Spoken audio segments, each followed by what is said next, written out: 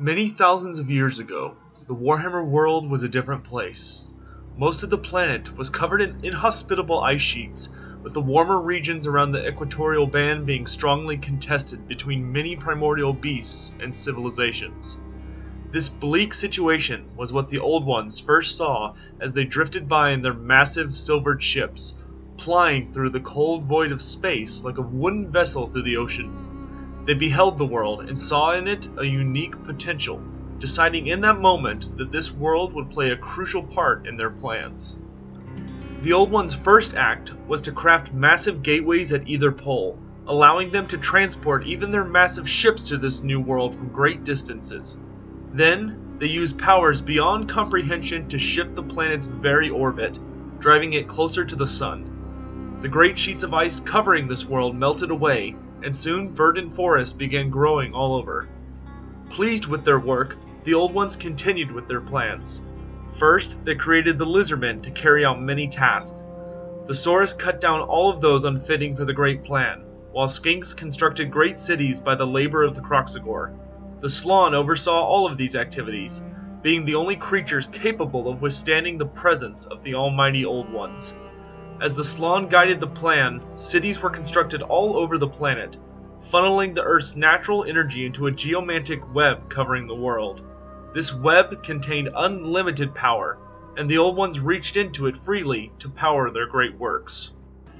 Once the cities were built, the Old Ones prepared for the next phase. The world had become a paradise, the Saurus having eliminated all but the occasional greenskins and mighty creatures that retreated deep into the earth. Thus, the Old Ones began to shift the Earth's landmass, breaking up the mighty supercontinent into many smaller ones and gradually shifting them over the course of thousands of years. Sadly, they would never complete this task. As the Old Ones had been freely entering and exiting the great portals hovering above the planet's poles, something began to stir in the realm beyond the gateways. Something ancient and terrible came to resent those passing through its realm. In this swirling madness, death came for the Old Ones. The Old Ones were beings of order and near omnipotence, yet they were not prepared for the birth of chaos. Although they tapped into the energy of this strange spiritual realm, the Old Ones always struggled to contain its power, and finally found themselves engaged in a war against creatures born of pure energy. It is believed that the younger races were created in hopes of making something able to fight back against chaos. In their first attempt, they raised up the island of Ulthuan from the ocean's floor and created the Elves, who learned magic from the godlike first generation Slaan themselves. Despite being dexterous and intelligent, the Elves were not as resistant to the corrupting forces of magic as the Old Ones had hoped. Thus, they were the first failure. The next creation were the Dwarves, a stalwart and strong race, not only resistant to magic, but able to craft masterpieces with supernatural power. To them, the Old Ones taught the art of mining the earth and crafting runes. However, the same traits that made the dwarves determined survivors also gave rise to stubbornness, avarice, and insularity. Thus, they were the second failure of the Old Ones. Around this time, it is believed the war in the spiritual realm grew worse, as the Old Ones became more desperate in their attempts to create the perfect race. They crafted the race of man, an adaptable and prolific people, able to conquer any challenge and adapt to any land. They were perhaps intended to be the Old One's greatest design, but time ran out, and thus they remained incomplete. In the final stages of the Cosmic War, the Old Ones gave rise to two extremely uncompleted races, being the Ogres and the Halflings. Although different in size and strength, both races shared similar traits of fondness of eating and resistance to magic, as well as their less than stellar intellects. Finally, the war reached its climax, and the polar gates imploded. Shattered fragments hurled down upon the earth in flames. Whether this was caused by a great influx of energy, or the Old Ones on purpose, is unknown. In this moment, the age of the Old Ones seemingly ended, and the world fell to mortal hands. It is unknown what happened to the Great Ones. Perhaps they were destroyed in the explosion and cut down by chaos. Perhaps they were possessed and twisted into abominations. Or perhaps they abandoned the world, realizing it was hopeless, and fled. It is even possible that they used the last of their power before perishing to set events in motion in an attempt to one day save their beloved world. Thus ends the history of the Old Ones and begins the myth. The Old Ones are without a doubt the most mysterious gods ever to exist in the Warhammer world. Few records remain about them, but from what we can read, they appear to be an extremely diverse and powerful race. The Old Ones, despite being godlike, were most certainly not gods in the sense that the Warhammer world has come to understand. The rest of the gods covered in this series tend to be beings created by the emotions, beliefs, and or worship of the mortal beings of the Warhammer world, rather than the physical presence the Old Ones themselves had. That being said, the Old Ones were beings unmatched in power, with the exception of the entirety of Chaos itself, something that even the current Chaos gods are mere fractions of. That being said, despite their mysterious nature, we do have some information regarding individual Old Ones. So I'll just kind of go down the list that we have, and let's talk about what we know of them. We'll begin with the most prolific and well known of the Old Ones. First among them, and most well known, is Tlanxla, warrior god, who rode a mighty sky chariot into battle. He is the only Old One to actually leave behind a relic in the mortal plane. His spear is now wielded by Kroq-Gar, ancient Scar leader of Mazdamundi's hosts. Being pierced by this spear causes one to suffer doom-laden visions that make any go mad. It's especially effective against the forces of demons and the undead. Next are the remainder of the well-known pantheon. Xotl, the selector of greatness. Quetzl, the defender and divine protector. Chotec, the lord of the sun. Tepok, god of wisdom and magic. Potek, he who wards against the supernatural. Tzunki, lord of water, agility, and keen eyesight. Tlazcotl, the impassive, the patient, and the determined. Huanchi, the jaguar god of the earth and night. And Itzl, god of the cold-blooded beasts. These are the most well known of the old ones, and actually have notable traits assigned to them that come up in the Lizardmen's worship.